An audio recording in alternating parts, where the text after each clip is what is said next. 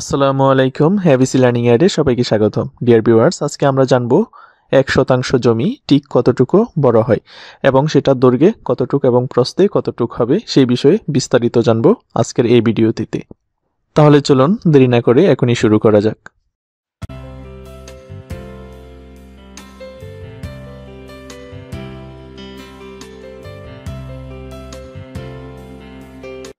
Dear viewers জমির আয়তন সংক্রান্ত যে কোনো তথ্য জানার জন্য আমাদেরকে যে সূত্রটি অবশ্যই মনে রাখতে হবে, সেটি হচ্ছে এক শতাংশ জমির পরিমাণ সমান চারশো পঁয়ত্রিশ দশমিক ছয় বর্গ ফুট অর্থাৎ আমাদেরকে এটা অবশ্যই জানতে হবে যে এক শতাংশ জমির পরিমাণ হবে ছয়শো পঁয়ত্রিশ দশমিক ছয় বর্গ ফুট ডিয়ার ভিউয়ার্স আমরা এখানে যে জমিটি দেখতে পাচ্ছি, এর পরিমাণ হচ্ছে এক শতাংশ। অর্থাৎ আমরা যে চতুর্বাস আকৃতির জমিটি এখানে দেখতে পাচ্ছি এর অ্যাকচুয়াল পরিমাণ হচ্ছে এক শতাংশ, অর্থাৎ এখানে এক শতাংশ জমি রয়েছে। ডিয়ার ভিউয়ার্স আমরা এখানে যে জমিটি দেখতে পাচ্ছি, এর দৈর্ঘ্য হচ্ছে বিশ দশমিক আট সাত ফুট এবং প্রস্থ বিশ দশমিক আট সাত ফুট। অর্থাৎ আমাদের, আমরা যদি এক শতাংশ পরিমাণ জমি নিতে চাই, তাহলে আবার সেই জমিটি যদি চতুর্বাস আকৃতির হয়ে থাকে, তাহলে অবশ্যই জমিটির দৈর্ঘ্য বিশ দশমিক আট সাত ফুট হতে হবে এবং প্রস্থ বিশ দশমিক আট সাত ফুট হতে হবে। সো ডিয়ার ভিউয়ার্স আমরা এখন জানলাম যে একটি এক শতাংশ পরিমাণ জমির আয়তন হবে দৈর্ঘ্যে বিশ দশমিক আট সাত ফুট এবং প্রস্থেও বিশ দশমিক আট সাত ফুট।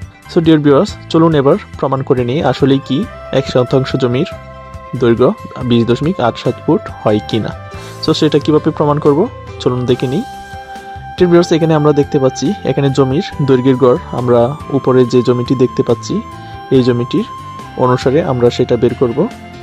সো এখানে দেখা যাচ্ছে জমির দৈর্ঘ্যের গড় হচ্ছে। এখানে দুইটা দৈর্ঘ্য আছে বিশ দশমিক আট সাত যোগ বিশ দশমিক আট সাত ভাগ দুই। আমরা যদি দুইটা দৈর্ঘ্যকে যোগ করে দুই দিয়ে ভাগ করি, তাহলে কিন্তু আমরা দৈর্ঘ্যের গড় পেয়ে যাচ্ছি। সো এখানে আমরা দুইটা দৈর্ঘ্যের গড় যোগ করলাম, যোগ করে দুই দিয়ে ভাগ করলাম। দুই দিয়ে ভাগ করার পর আমরা ভাগফলটা পেয়েছি, সেটা হচ্ছে বিশ দশমিক আট সাত ফুট। এবং প্রস্তের গড় সেমভাবে আমরা দুইটা প্রস্তের গড়, দুইটা যোগ করলাম, যোগ করে দুই দিয়ে ভাগ করলাম।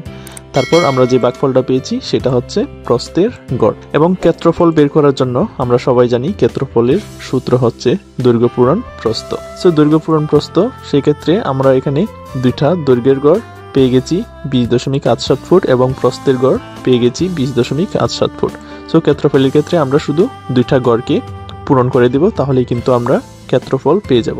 সো ক্ষেত্রফলের ক্ষেত্রে আমরা এখানে দেখতে পাচ্ছি দৈর্ঘ্য পূরণ প্রস্থ, অর্থাৎ বিশ দশমিক আট সাত পূরণ বিশ দশমিক আট সাত। আমরা যদি এটা ক্যালকুলেটরের মাধ্যমে পূরণ করি, তাহলে কিন্তু আমরা পেয়ে যাব চারশো পঁয়ত্রিশ দশমিক পাঁচ পাঁচ ছয় নয় বর্গ ফুট।